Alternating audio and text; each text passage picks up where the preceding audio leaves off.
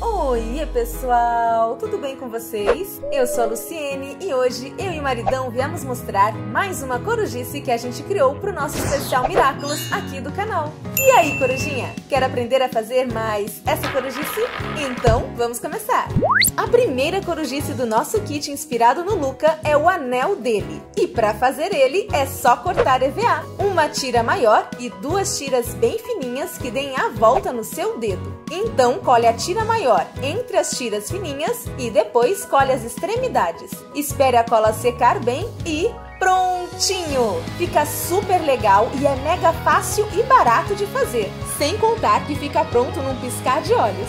Nós já fizemos o anel do Cat Noir e o anel do Adrian de EVA e de massinha também. Vou deixar esses vídeos nos cards aqui em cima, na descrição e nos comentários para você assistir depois. Por falar em Adrian e Luca, conta pra mim nos comentários. Você acha que a Marinette deve ficar com o Adrian ou com o Luca? Vou amar papear com vocês. A próxima corujice é o brinco que o Luca usa e é super fácil de fazer. Basta cortar dois círculos num EVA e aí você escolhe a base de brinco que você quer colar. Pode ser como a minha ou então a base de brinco de pressão caso você não tenha furinho na orelha. Ou pode fazer que nem o maridão e colar uma fita dupla face para segurar o brinco na orelha. Se você gosta de Miraculous e das nossas corujices, por favor, dá um joinha nesse vídeo e ajude a compartilhar nas redes sociais, no Facebook e em grupos de WhatsApp. E aproveita para apertar o botão vermelho aí embaixo escrito inscrever-se e ativar o sininho para saber quando tiver vídeo novo no canal. Vem ser mais uma corujinha no nosso corujão. Nossa próxima corujice é o combo de pulseiras que o Luca usa. Para fazer as duas menores, basta cortar tiras de EVA que deem a volta no seu braço. E aí é só unir as pontas colando um pedacinho de elástico, exatamente como mostramos no kit do Nino, que tem aqui no canal. Se ainda não assistiu, vou deixar o link nos cards, na descrição e nos comentários.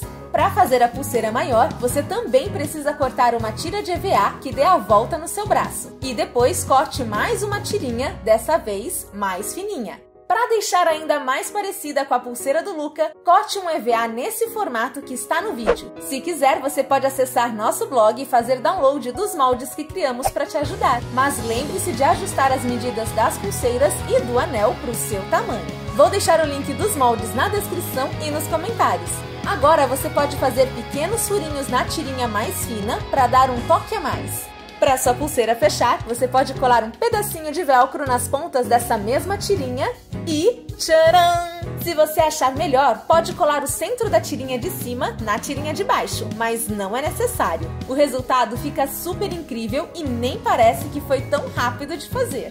Eu fiquei aqui pensando como seria a capinha de celular do Luca e acho que seria exatamente como a camiseta dele. Para fazer a sua, você precisa escolher qual capinha usar. Pode ser capinha transparente, dessas baratinhas, ou então pode fazer você mesmo a sua capinha de celular ou tablet. Aqui no canal tem uma playlist com várias opções para você se inspirar. Tem as nossas famosas capinhas 4 em 1, capinhas com porta-treco, capinha carteira, capinha mais básica ou até capinha transparente feita em casa. Se quiser inspiração, é só assistir nossa playlist. Vou deixar o link nos cards, na descrição e nos comentários para você assistir depois. Se escolher uma capinha transparente, você pode acessar nosso blog e fazer download do molde que criamos. Nele tem a imagem do Jagged Stone igual a da camiseta do Luca. Você pode imprimir ou desenhar você mesmo, fazer as marcações do seu celular ou tablet e recortar. Se sua capinha for de EVA ou de outro material não transparente, você pode pintar ou colar EVA por cima da sua capinha, seguindo a imagem do Jagged Stone.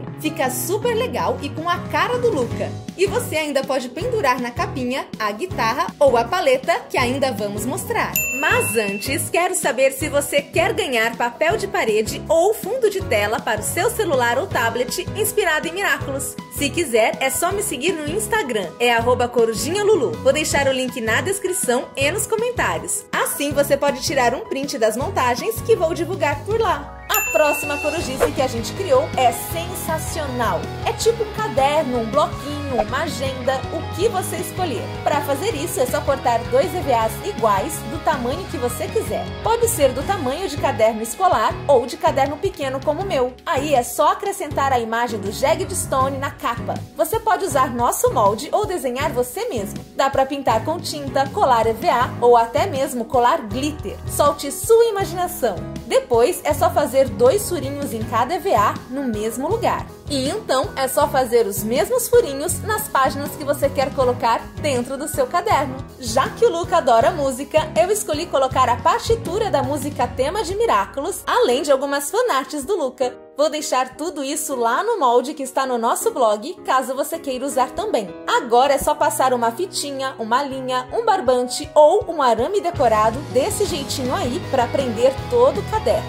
E prontinho! Você já tem um caderno mega estiloso, digno de qualquer fã do Jagged Stone, assim como o Luca e a Marinette. Por falar em Marinette, nós também deixamos no nosso blog a imagem do Jagged Stone que estava na paleta do Luca, aquela que ele deu para Marinette de presente. Você pode imprimir num papel mais durinho ou colar numa caixa de comida congelada ou de cereal, por exemplo. Você também pode fazer isso com a guitarra do Luca que está no nosso molde. E aí você pode usar como marca-página do seu caderno. Eu resolvi colar clipes atrás de cada um, mas você pode colar uma fitinha ou até imã e soltar a imaginação. A última corujice do nosso kit é super miraculosa. Sabe a imagem do Jagged Stone que está no nosso molde? Você pode usar a parte vazada para pintar o que você quiser. Um quadrinho, uma blusa ou até mesmo seu caderno. Lembre-se de usar tinta para tecido se estiver fazendo na sua blusa e de colocar um papelão por dentro para a tinta não vazar pelo tecido e acabar manchando as costas. Nós já mostramos essa técnica de stencil no kit da Lei do Wi-Fi. Se ainda não viu, vou deixar o link nos cards, na descrição e nos comentários.